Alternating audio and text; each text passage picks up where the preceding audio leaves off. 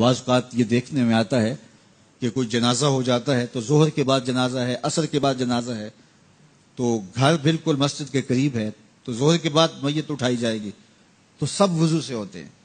تو نماز کا وقت ہوا تو سب مسجد میں چلے گئے کہ نماز پڑھیں، اس کے بعد جنازہ اٹھائیں گے۔ اور بے نمازی ادھر ادھر گڑیوں میں منہ چھپاتے پھر رہے ہوتے ہیں۔